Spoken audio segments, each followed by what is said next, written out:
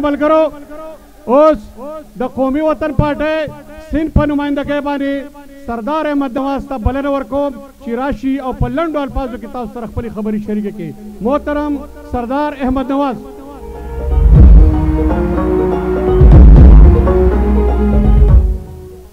बिस्मिल्लाहिर्रहमानिर्रहीम।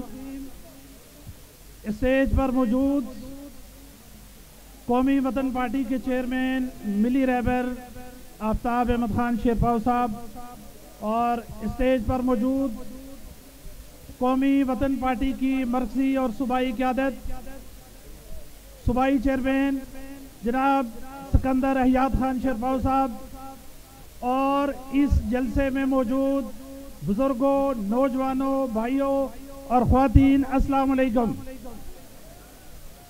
मुझे बहुत खुशी महसूस हो रही है कि मैं आज एक अजीम लीडर, शहीद वतन हयात मोहम्मद खान शेरपाव साहब की बरसी के हवाले से यहाँ पर मौजूद हूँ और मुझे यहाँ पर बात करने का मौका भी मिल रहा है।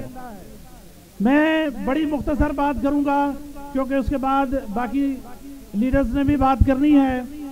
शहीद अयाद मोहम्मद खान शेरपाओ ने पाकिस्तानी सियासत के अंदर ऐसे ना मिटने वाले नकूश छोड़े हैं जो हमेशा पाकिस्तानी सियासत में याद रखे जाएँगे। शहीद अयाद मोहम्मद खान शेरपाओ साहब ने जब सियासत में कदम रखा था तो पाकिस्तानी सियासत बड़े महलों, अशराफिया और ड्राइंग रूम्स तक महदूद थी।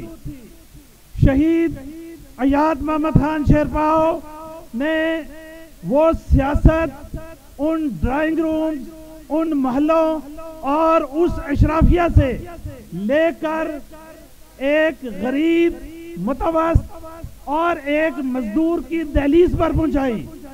आज पाकिस्तान में अगर गरीब, मजदूर और मतवस्त तबके की सियासत में आवाज़ मौजूद है तो वो हयात मोहम्मद शेरपाव जैसे नडर, बहादुर सपूतों की कुर्बानियों की वजह से मौजूद है।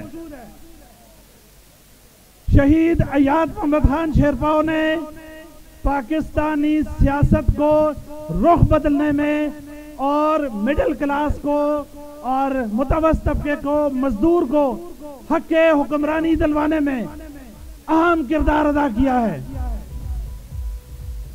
आज छियालीस वर्ष बाद भी शहीद हयात मोहम्मद खान शेरपाओ की बरसी में पाकिस्तान भर से लोग यहाँ पर आते हैं और अपनी भरपूर अकीदत का इजहार करते हैं।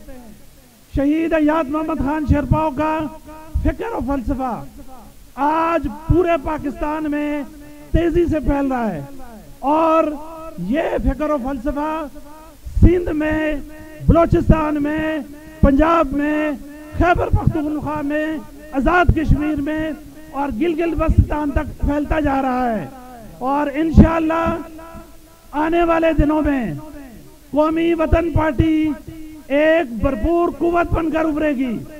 और मिली रहबर आफ्ताब अहमद खान शेरपाव साहब और सिकंदर हयात शेरपाव की क्यादत में कौमी वतन पार्टी इस मुल्क की एक बड़ी कुवत बनकर सामने आएगी। मैंने आज आप लोगों का जो जोश और वलवला देखा है, मैं आप तमाम लोगों को खराज तहसीन पेश करता